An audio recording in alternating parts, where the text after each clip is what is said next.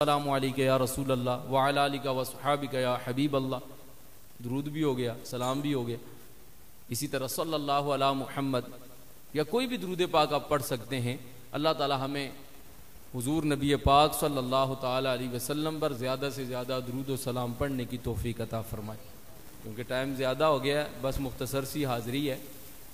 कुछ बातें ही करूँगा और मौजू आज कुछ नया लगेगा आपको। ये मौका है हमारे सैयद फरहान शाह साहब के। हाँ अल्लाह ताला ने करम फरमाया और नेमत मिली बेटे की। और यकीनन हम मुसलमान हैं और मुसलमान का हर काम अल्लाह और उसके रसूल सल्लल्लाहु अलैहि वसल्लम के फरामीन के मुताबिक होना चाहिए।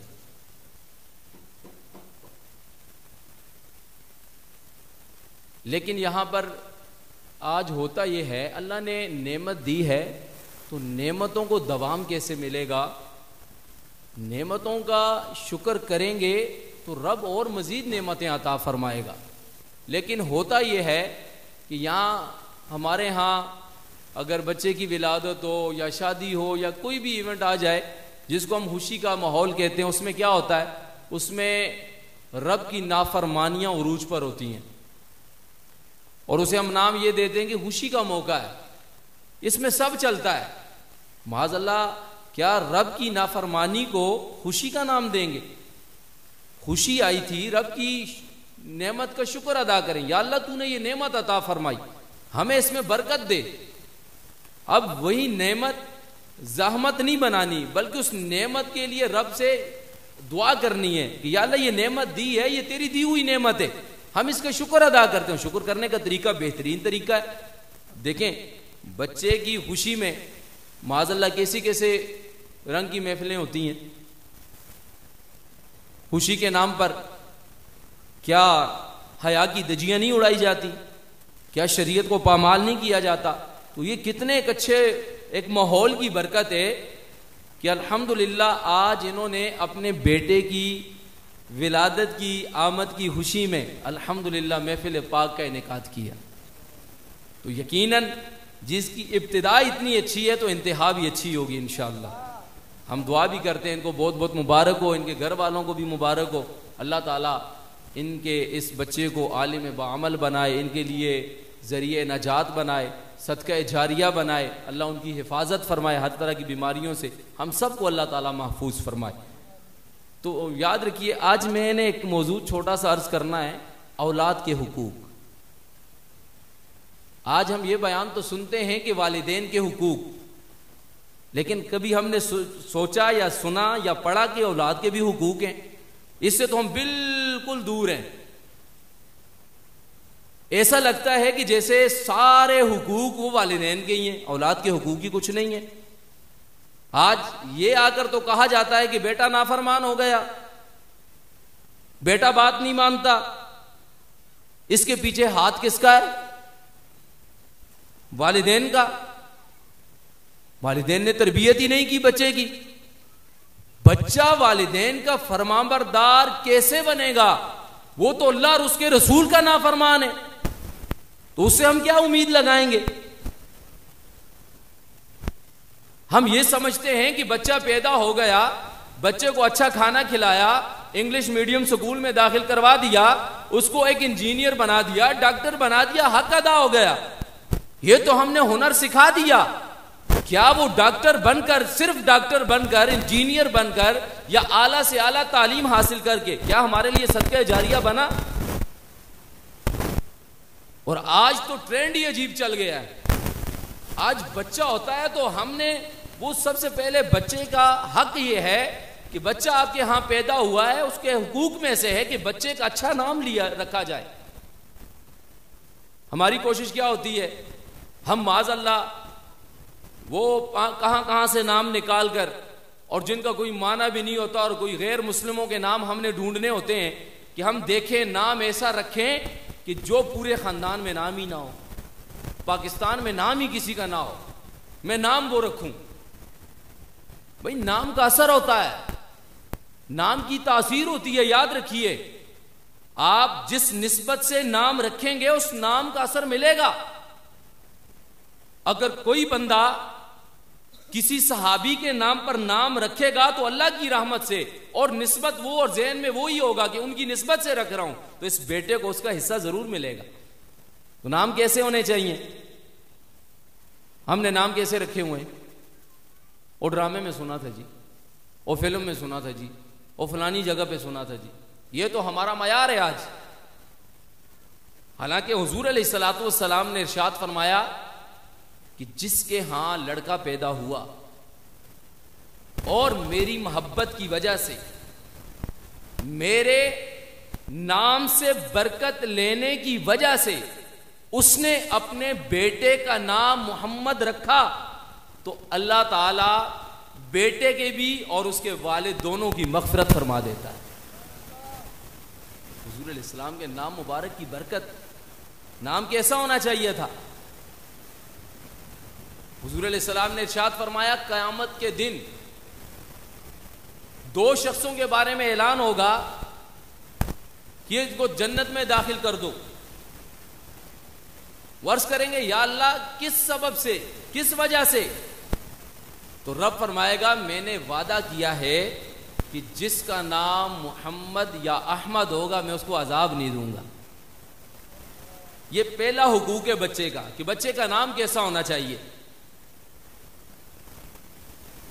हज़रत अली रज़ी अल्लाह आपसे रिवायत है कि हजूर सलाम ने इर्शाद फरमाया, जिस दस्तरहान पर, जिस दस्तरहान पर मोहम्मद या अहमद नाम का कोई भी शख्स बैठा हो तो वहाँ दो रहमतें नाजिल होती हैं। रोज़ाना। और जिस घर में मोहम्मद या अहमद इनाम हो जिसका, उस घर में कैसी रहमतें आएँगी, कैसी बरकतें आएँगी? तो कोशिश करनी चाहिए, अमीर सुन्नत दामद बरकातमिया भी यही जहन देते हैं कि अपने बच्चे का नाम आप रख लें मोहम्मद, और पुकारने के लिए कोई भी नाम दे दें। असल नाम जब भी आपने लिखवाना है तो उसका नाम मोहम्मद ही रखवाना है। लिखवाना भी है और पुकारना भी है, लेकिन अदब भी करना है। नाम को बिगाड़ना नहीं है, बल्कि उसका अदब भी करना है। और फिर आगे क्या होता है? पहले तो बच्चे का नाम हमने ढूंढना होता है कि बच्चे का नाम कैसा रखा जाए। और फिर आगे तरबियत क्या दी जाती है? जैसे बच्चा हमारा थोड़ा सा बड़ा होता है। जब वो थोड़ा हल्का सा बोलने लगता है तो अब घर में क्या होता है? घर में फ़िल्में चल रही हैं, घर में ड्रामे चल रहे हैं, घर में गाने बाजे चल रहे हैं। और उम्मीद हमने क्या रखी होती है? मेरा बच्चा बड़ा नेक बन जाए माँ बाप के हाथ पाँव चूमने वाला बन जाए। ये औलाद ही तो तरबियत, औलाद की तरबियत वालिदैन ही तो करेंगे। इनको चाहिए था जैसे जैसे बच्चा बड़ा हो रहा है इसके सामने कुरान की तिलावत की जाए, इसके सामने हुजूर सलाम की नात पढ़ी जाए, जब इसकी जबान खुलने लगे तो इसे अल्लाह अल्लाह का ज़िक्र करवाया जाए, इसके सामने किया जाए, ताकि जब इसकी जबान खुले तो पहला लफ्ज अल्लाह निकले। लेकिन यहाँ क्या होता है? अब बच्चे की जब जबान खुलती है, पहला लफ्ज बोलता है, उसने तीन साल गालियाँ ही तो सुनी है घर में। वो पहला लफ्ज ही गाली निकालता है। अब क्या होता है? अब वालिदेन खुश होते हैं। साढ़े बच्चे ने गाल कट दी थी। लो। अब हमें बताएँ, मुआशरा कैसे सुधरेगा? क्या ऐसा नहीं होता मुआशरे में? ये हकीकत बातें कर रहा हूँ मैं आपसे, मुआशरे की। आप भी इसी मुआशरे में, हम भी इसी मुआशरे में। होता कि नहीं होता? बच्चा गाली निकाल रहे होते हैं, उसकी तरबियत करने के बजाय कि बेटा ऐसा नहीं कहते। इससे रब नाराज़ होता है।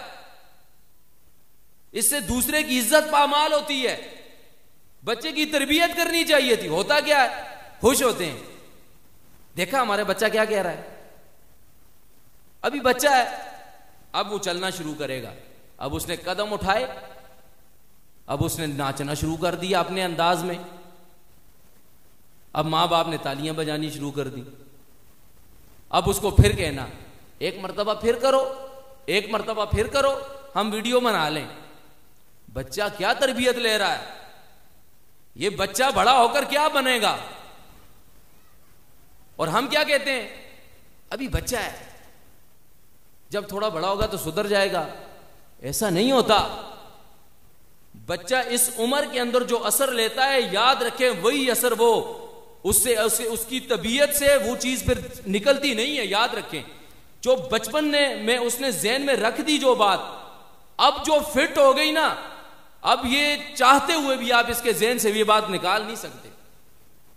हम क्या समझते हैं कि मैं अपने बच्चे को एक कारी साहब लगा लूँ? अल्लाह करे कि ऐसा हो। हम किसी मदरसे में लगा लें और फिर हम फिर बेफिक्र हो जाएँ। लो जी, अब मेरा बच्चा चला गया है, घर में मैं जो मामला मर्ज़ी करूँ, अब वहाँ से वली बनकर निकलेगा भाई। ऐसा नहीं होता। याद रखें, बच्चे ने सबसे पहले अपने वालिदेन का असर लेता है। क्या वजह है? वालिदेन आज दीन से दूर हैं, बच्चों की तरबियत की तरफ़ ख्याल ही कोई नहीं। और याद रखें, जिस तरह औलाद से वालिदेन के बारे में पूछा जाएगा, इसी तरह वालिदेन से औलाद के बारे में पूछा जाएगा। और क्यामत वाले दिन, ये सबसे पहले तो ये बच्चा और इसकी बीवी और बच्चा दावा करेगा रब की बारगाह में, या इस शख्स से हमारा हक दिला। हक क्या था? इसने अच्छा खिलाया अच्छा पिलाया, दुनियावी तालीम दी, लेकिन यही बच्चा उठकर इसका गरिबान कयामत में पकड़ेगा और रब की बारगाह में अर्ज़ करेगा, मोला, इससे हमारा हक दिला। हक क्या था? इसने हमें दीन ही नहीं सिखाया। इसने हमें कुरान की तालीम नहीं दी। अब इस शख्स की सारी नेकियाँ फिर इसके पलड़े में होंगी। हम अपने असलाफ को देखें। क्या वजह थी? माए, माँ बाप इतने नेक थे, शरीयत के पाबंद थे तो फिर बच्चा गौसल आज़म ही पैदा होगा ना? फिर माँ के पेट के अंदर अठारह सपारे, पंद्रह सपारे हिफ्ज करने वाले बुख्तियार काकी रहमत और गौसे आज़म रज़ी अल्लाह तनो ये बच्चे कैसे पे बने? वालिदेन का असर था। वालिदेन की तरबियत थी। लेकिन यहाँ पर हम देखें, आज मुआशरा बिगड़ता चला जा रहा है। तवज्जो ही नहीं है हमारी। और अगर हम बच्चों को कह देते हैं, आपको पता नहीं वालिदेन के क्या हुकूक है? तो बच्चा आगे से अगर यही सवाल कर दे, बताएँ बच्चों के हुकूक कोई नहीं है। आपने बच्चे को क्या तालीम दी? आपने तो घर में बैठकर ये कहा, फ़ोन आया तो बच्चे को पकड़ा दिया। कह दो जी, पापा कार नहीं है आप बच्चे की ये तरबियत कर रहे हैं क्या आपने झूठ बोलना है। बाहर आपको कोई मिलने आया, आप बच्चे को, अपने बच्चे को भेज रहे हैं उसे को अबू घर में नहीं है। और इस बच्चे से आप क्या उम्मीद रखेंगे?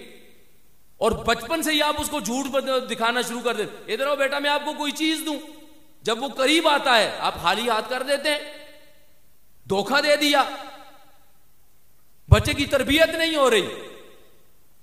और इस पर हम, आज इंशाला हमने गौर करना है। अगर हम चाहते हैं कि मेरा बच्चा फरमाबरदार बन जाए, अगर हम चाहते हैं कि मेरा बच्चा नमाजी बन जाए हम चाहते हैं मेरा बच्चा हाफिज कुरान बन जाए। हम चाहते हैं मेरा बच्चा मेरे हाथ पाँव चूमने वाला बन जाए।